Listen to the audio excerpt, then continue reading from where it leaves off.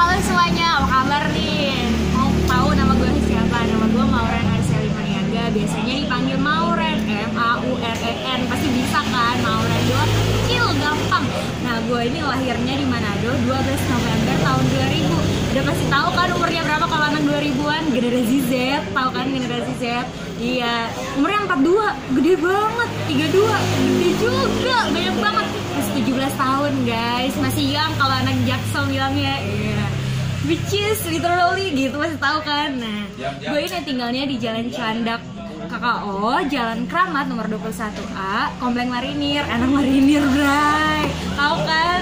Cilandak, Transmart. Iya, di situ gue rumahnya. Nah, kenapa gue pilih Interstudy sebagai universitas gue? Karena gue denger dari sekitar gue nih guys, karena uh, Interstudy itu keren ternyata komunikasinya. Apalagi bagian broadcasting, bagian penyiaran. Kenapa sih gue pilih broadcasting daripada PR atau yang lainnya? Karena gue pengen mencoba suatu hal yang baru tentang dunia penyiaran.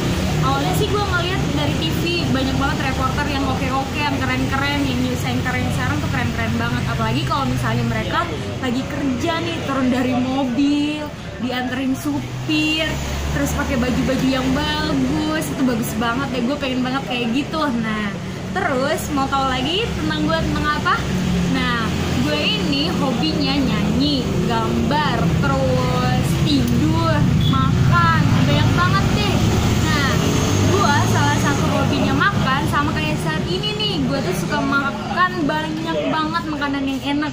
Gue bisa rekomendasiin dah tempat ini. Nih lihat ikan bakar guys. Orang Manado masa nggak suka ikan bakar sih? Mau coba gak mau coba gak enak cuy. Apalagi dipakein sambal nih.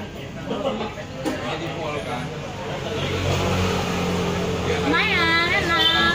Kalian bisa tahu nggak tempat ikan bakar ini tuh recommended banget. Baru fresh. Namanya ikan bakar kawanua. Ini tuh ada di Matoa. Di Matoa di Matoa di mana tuh? Deket kok. Deket dari Cilandak tadi tempat rumah gue gitu. Nah gue pilih ilmu komunikasi tuh ker karena kerennya karena mau jadi reporter atau jurnalis selain itu gue tergabung dalam organisasi organisasi di gereja nah kenapa gue tergabung dalam organisasi di gereja? Karena gue mau ngelatih nih komunikasi gue sama orang-orang sekitar.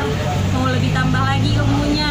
Nah walaupun gue udah kuliah dari weekdays terus weekendnya harus gabung organisasi di gereja gue harus semangat. Karena kalau lu misalnya mau butuh sesuatu atau pengen gapai sesuatu lu harus usaha. Nah usaha itu ya mulai dari bawah dulu sampai nanti lu bakal dapet bintang di atas ya nggak senyumin aja guys